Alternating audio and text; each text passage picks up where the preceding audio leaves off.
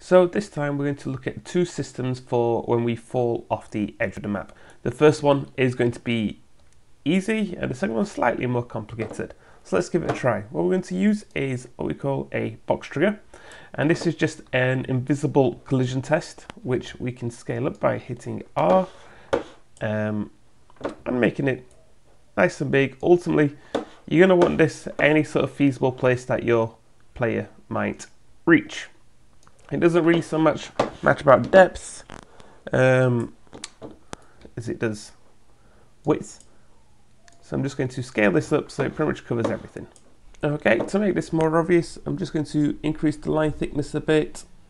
Um, maybe set to 15 and let's change the colour in it to red. Oh, I guess orange in that case.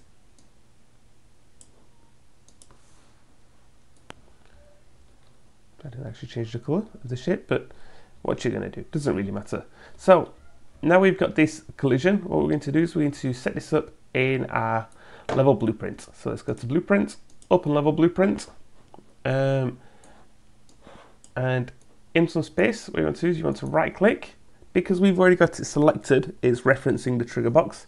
So we can go to add event, collision, begin, overlap and we're going to say when this begins, when this collides with our third person character, which is the name the default character that we get in Unreal, we are basically going to respawn um, the player.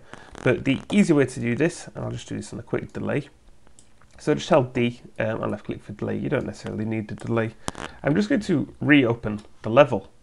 Now we can either type in the current level's name um, which is called the person example map, or we should be able to use get level name. No, can we not get level name? Get level name. Get current level name. That's because it's a separate node. So considering this is just a restart, we're not actually switching any levels, we can just do this. Let's give this a test, make sure it works.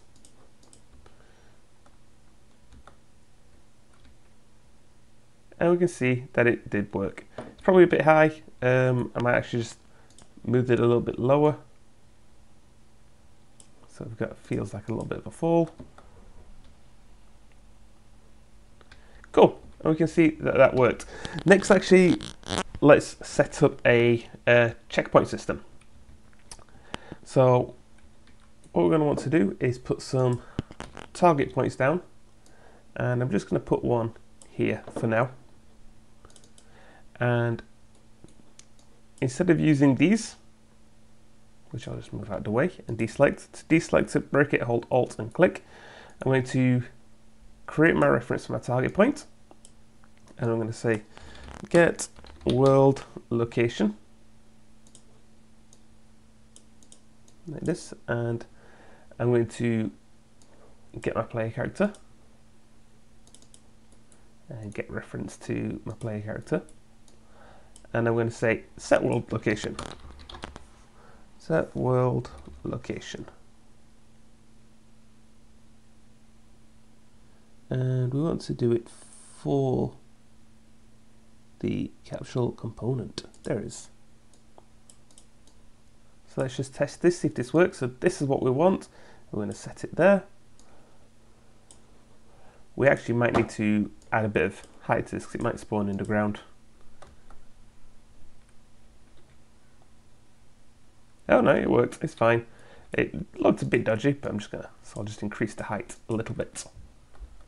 So now instead, when we fall off, instead of loading the level, um, it spawns there. So there's two sort of systems benefits for doing this really. Loading the level means if anything actually happens, um, like in the scene, I've got these balls which are going to trigger and fall down when I get close to them. So this action happens, and now if I fall off, and reload, that action, that event has already taken place. So those balls will fall again. However, on level load, they'll be re they'll be there all over again. So it's definitely worth um, bearing that in mind um, for whichever sort of system you want. This one will restart everything. This system will um, just sort of respawn you. let's say, for example, let's build on this bit more, and let's say at a certain point you want to trigger the checkpoint, or maybe you want to restart the checkpoint. So we'll do it, we're just doing this a, a similar way actually, um, through like box triggers again. So let's say when we get to, just for the sake of test, once we get past, um, once we make it up to the top and jump down, let's put a nice big box collision here. That way the player is not going to miss that. Um, and we'll just, similar to how we did the one before, we'll just track this, add a collision on actor begin overlap. Um, and we'll do integers. So we're going to create a variable and we'll call this checkpoint um, int. So checkpoint int. We need to change it to an integer. So in the top right, instead of it being a boolean, we're going to be an integer. Um, so if we overlap with checkpoint one, I'm just going to grab this, get reference to it, get. Oops, sorry. First we need to say if you overlap with third person character, just like we did before. So if you overlap with third person character, we want to set this set um, we'll just do it there sorry. Grab it and we can set it. Set it to we'll just set this to one. But we could have you know five different boxes each of which would set to a different location. So now we're going to just change this code up a little bit more. I'm going to break it again. Grab you move you slightly out of the way and this time we're going to say um, we're going to ask the question. So we're going to get our checkpoint value, and we're going to say um, we'll actually do we'll do a, a switch on int. Switch on int. And what a switch does is basically it's going to look at the value of this integer and say depending on what value it is when we ask this question, it'll do different things. So for example, if we're if we're set to zero. So if we've not hit any checkpoints, then we'll get current level name and restart it. However, if we have hit um, the first checkpoint, we'll spawn a target point. Um, let me actually move my target point. Da -da -da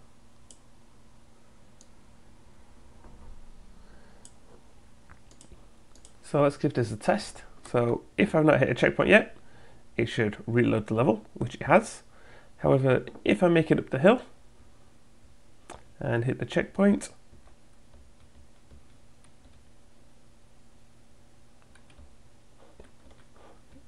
I might actually want to move that, make sure it's in the right place, um, and fall off. Notice it spawned me at a checkpoint. So we could have lots of different systems here. We could set up lots of these. Um, basically, this right here is all we need to do, but setting it to the relevant number, and then that's going to do our check. Like I said, slightly more complicated system, um, but it's going to do a lot for you. Um, yeah,